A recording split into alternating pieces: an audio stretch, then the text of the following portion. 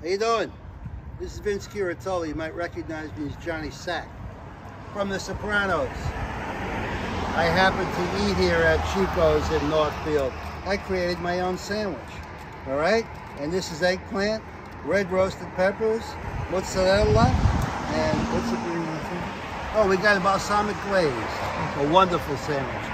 You better eat it. You understand me? Would you like some, Paul? Oh yeah. See? Paul likes it. You're gonna love it. Approve. Thank you.